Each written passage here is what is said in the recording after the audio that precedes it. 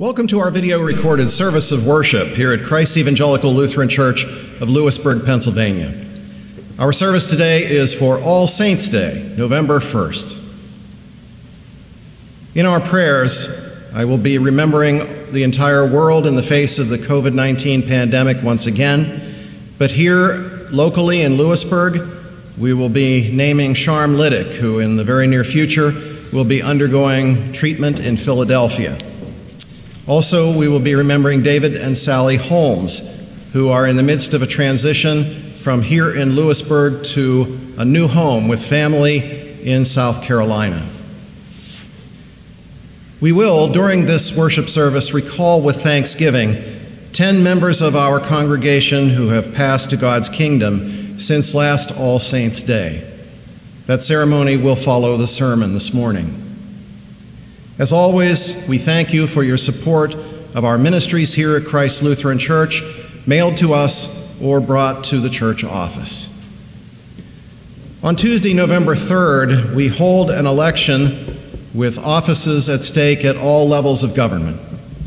As I have before, I remind you of the great blessing we have in this nation to choose those who govern us. Some of you have done so already. It is not an easy thing to consider going to the polls in this time of COVID 19. In a COVID year, I pray that as many of you as do so will be able to do so safely. And I hope you will be able to go and vote. Let's prepare for worship by means of our prelude for the morning.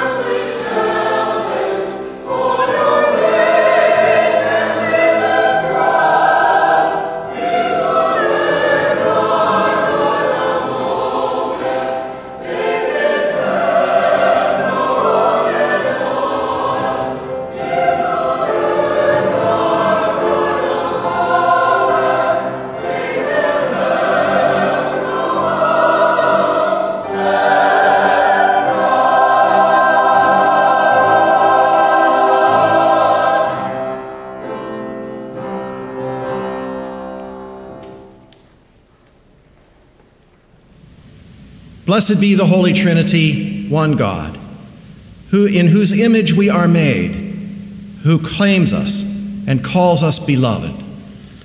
Amen. Let us confess our sin in the presence of God and of one another.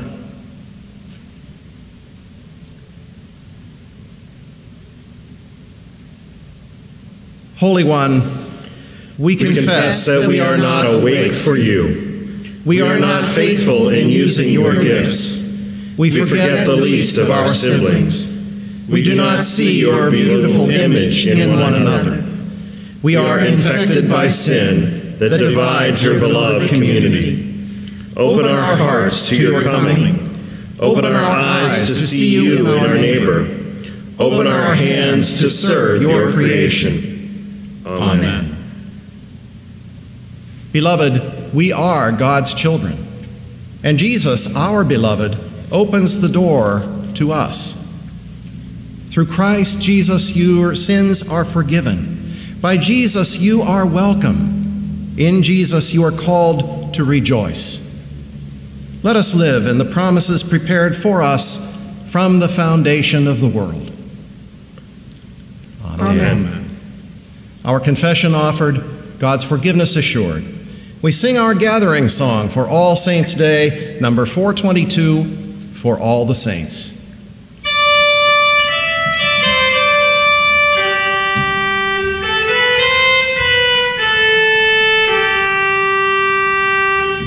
For all the saints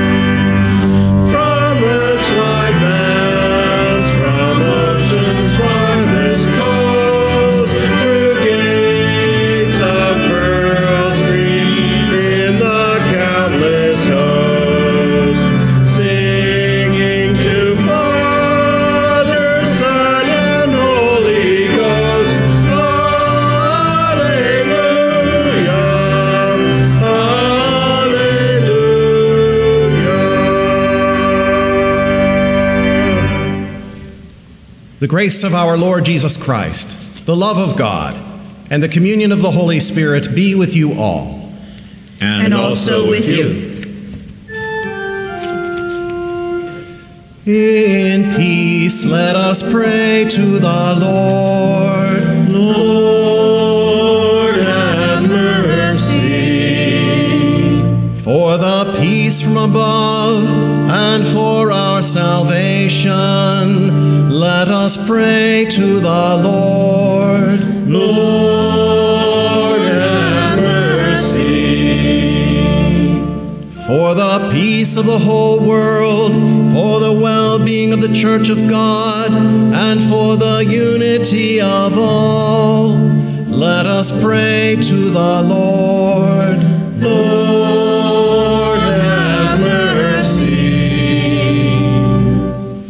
this holy house, and for all who offer here their worship and praise, let us pray to the Lord.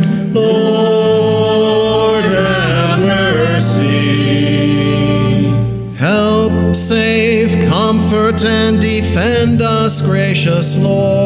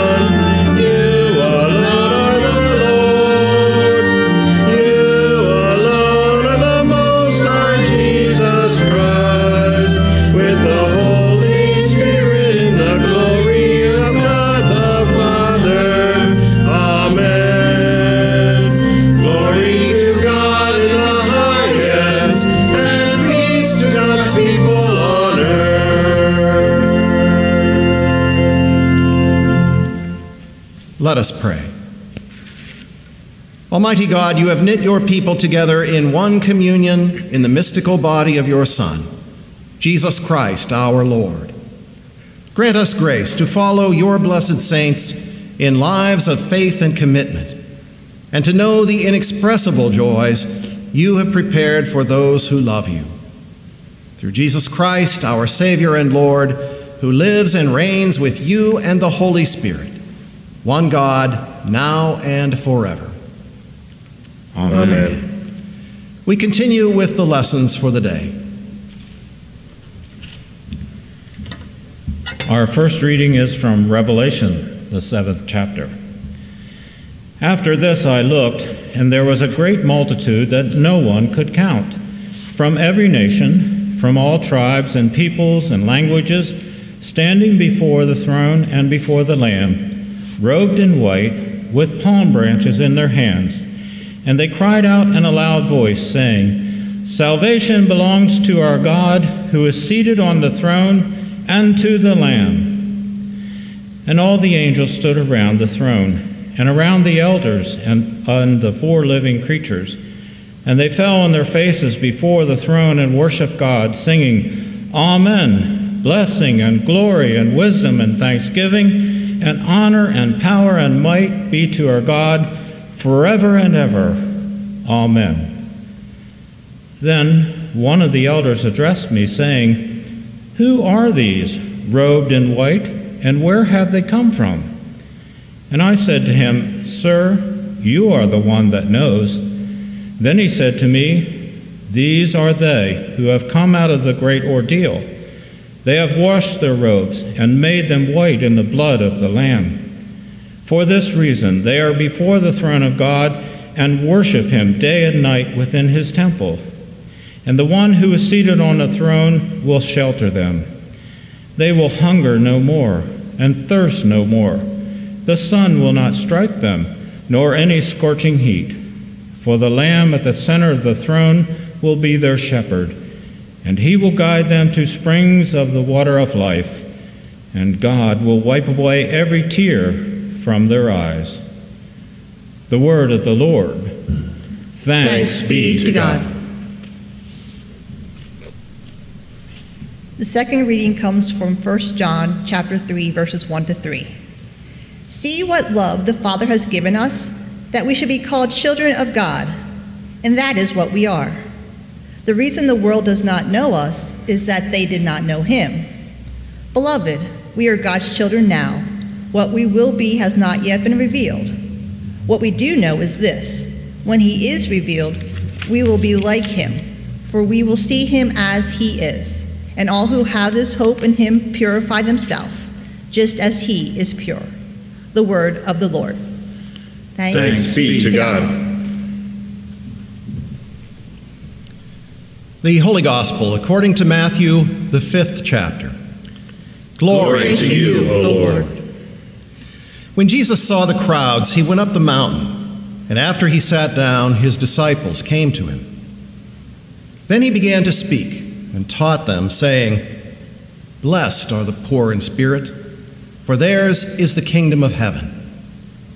Blessed are those who mourn, for they will be comforted. Blessed are the meek, for they will inherit the earth. Blessed are those who hunger and thirst for righteousness, for they will be filled. Blessed are the merciful, for they will receive mercy. Blessed are the pure in heart, for they will see God. Blessed are the peacemakers, for they will be called children of God.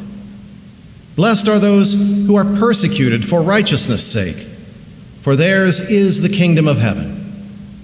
Blessed are you when people revile you, and persecute you, and utter all kinds of evil against you falsely on my account. Rejoice and be glad for your reward is great in heaven. For in the same way they persecuted the prophets who were before you. The Gospel of the Lord.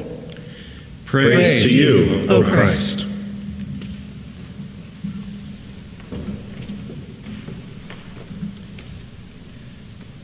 I recently had a rare, enjoyable occasion to take a drive in our region. And that day I noted the number of churches and other buildings which were named for saints. At least 10 of them. It reminded me of how religion has always been seen as a meritocracy, where those of high achievement are rewarded with a designation of sainthood. In some branches of Christianity, church leaders occasionally designate new people whose lives seem to have merited the status of sainthood. We might think of these as the saints with a capital S. There is another way to consider the word, however. And we need to consider our lessons for today in seeing this, and perhaps to consider also the ten candles which are on the altar before me as we worship this day. Our gospel lesson takes us to that mountaintop in Galilee where Jesus spoke to a large crowd of people. And he offered the Beatitudes. They are blessings. He offered these to the crowd who listened to him. The whole crowd had characteristics which Jesus named and which many of us might think of as disadvantages. They were poor in spirit, they were mourning, they were the meek, they were hungry for unfulfilled righteousness, they were merciful, They were pure in heart. They were peacemakers. They were the persecuted and the slandered. But as the Lord named each of these, he called them not pathetic, but blessed. Then, having named these characteristics, Jesus described the blessings which not just the special people out there would receive, but all of them. And the Lord concluded at the end of our reading for the day For the Lamb at the center of the throne will be their shepherd, and he will guide them to springs of the water of life, and God will wipe away every tear from their eyes. Jesus was not referring to an outcome here on this earth. He was speaking of a place beyond this world. It is a place where the saints, with a small s, will abound and share in the glory of God. In our first lesson for the day from the Revelation to John, we shared John's vision of what this all will look like. And he wrote, After this I looked, and there was a great multitude that no one could count from every nation, from all tribes and peoples and languages, standing before the throne and before the Lamb, robed in white, with palm branches in their hands. Well, folks, we are not there yet. And yes, I did say we. As a baptized child of God, claimed in Christ's name, each of us, every one of us, are called to have this kingdom of God as our destiny to share. It is not a destiny for only the few who are thought of as the great. It is intended to be a destiny for everyone. And so we should think of everyone called in Christ, including ourselves, as the saints. Today we are commemorating 10 of the saints, people we have known and shared life with and struggled with through difficult times. And in many cases, they are 10 we have loved. Many of you, like me, have strong and fond memories of them, and they are missed among us. In some ways, it makes a commemoration like today's difficult. But these Christ Lutheran Church members, called to be saints and claimed by Jesus the Christ, are not lost, not to Christ, and therefore not to us. We live in the hope that their destiny is now with the presence of God, and that someday we will be with them in that throng which John the seer saw and foretold. And then, what of us in the here and now. For now, we go forward as saints in a messy world filled with COVID and conflict and tough decisions. We have challenges in almost every day. And to paraphrase what Albus Dumbledore once said to Harry Potter, it is not our abilities who make us who we are, it is our choices. I would amend the wisdom of Albus by adding just a bit our choices knowing who we are as the people of God. We choose each day about COVID decisions, about election decisions, about education decisions, about job related decisions, and so many more. Choosing on the basis of our sainthood identity is a very wise way to choose. When we choose based on our sainthood identity and the priorities of the Lord, blessing of others will carry the day time after time after time. And the world will see in our choices a small glimpse of the kingdom of God that John the seer foretold. People around us will know what it means to be a saint, with a small s.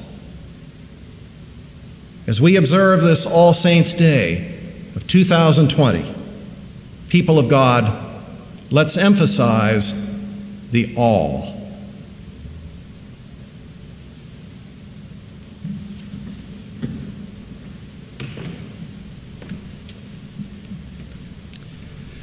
I'm going to now invite Charlene to come forward and assist me as we remember our departed saints.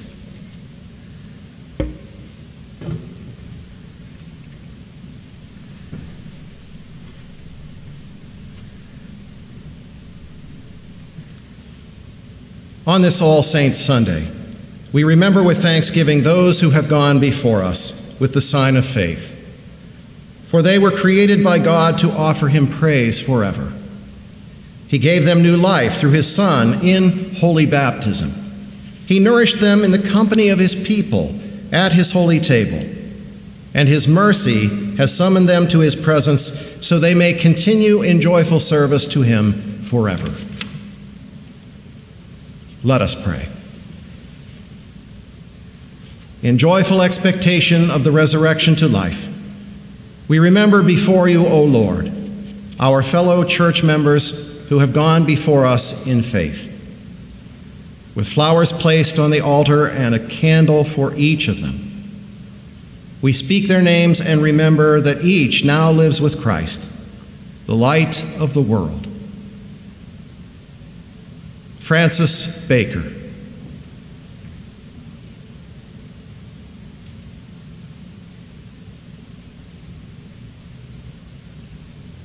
Harold Wagner.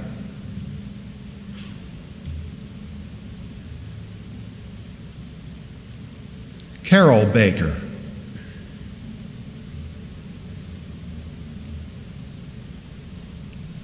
Janet Schwem.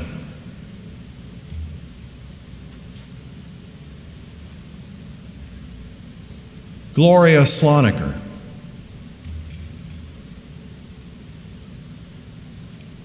Jack Solomon.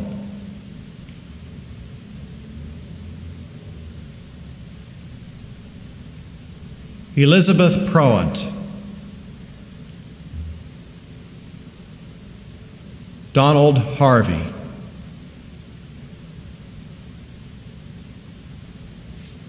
Richard Skelton.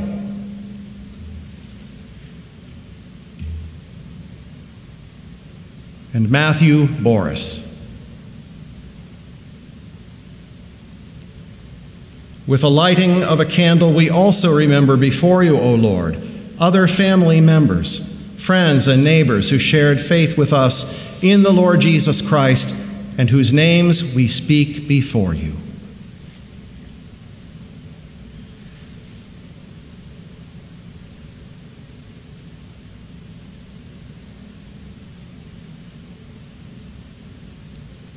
All these we commend to your eternal care, O Lord.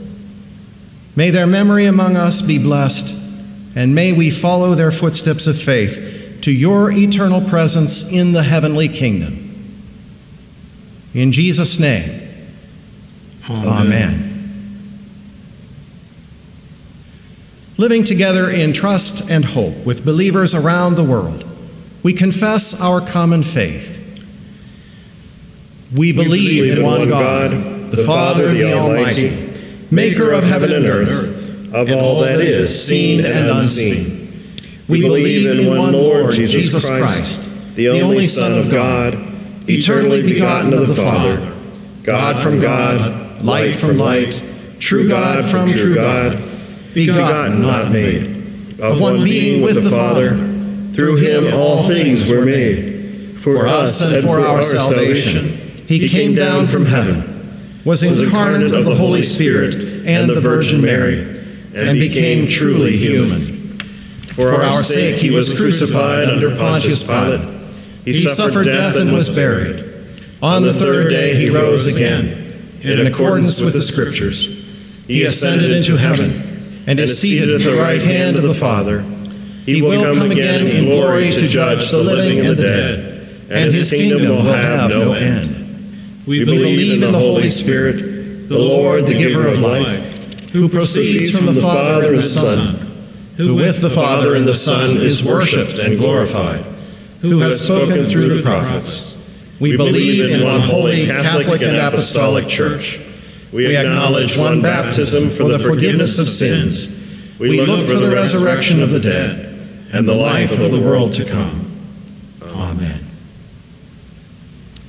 Longing for Christ's reign to come among us, we pray for the outpouring of God's power on the church, the world, and all in need.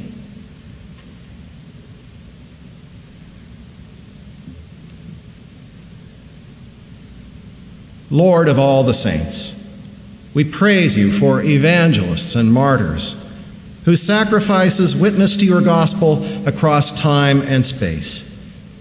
Inspire us by their courage to carry our faith to new people and places around us. Hear us, O God. Your, Your mercy is great. Lord of every nation, guide this country. Rural voters and urban voters, the young and the old, as we share in another national election. Kindle hearts eager to understand our common needs and to seek our common good.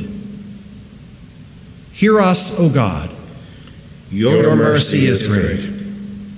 Lord of every venture, anoint us with the missionary spirit of the early church. Bless all new missions of our synod. Empower testimony from new communities of faith to shape a diverse witness to your saving power.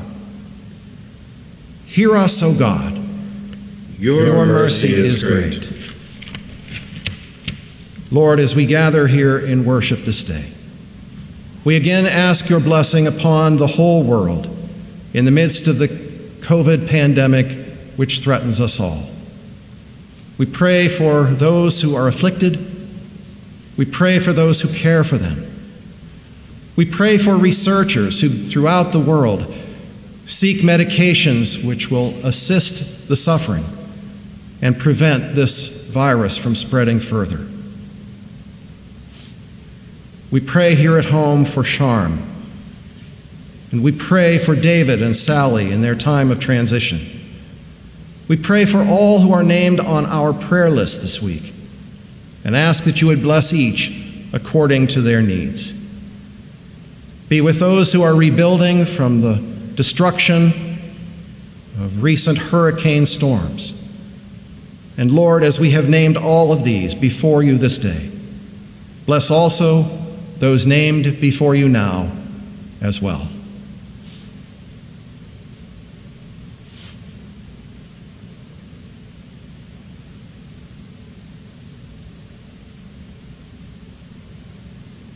Hear us, O God. Your, Your mercy, mercy is great. Lord of every time, countless are the multitudes you have called by name and gathered to yourself. Comfort us as we grieve those who have died in the past year. In faith, may we join with them in ceaseless praise. Hear us, O God. Your, Your mercy is great. Receive our prayers in the name of Jesus Christ, our Savior, until that day when you gather all creation around your throne, where you will reign forever and ever. Amen. Amen. The peace of Christ be with you always. And, and also with you. And wherever you are watching this video, may you share the blessing of peace with those you love.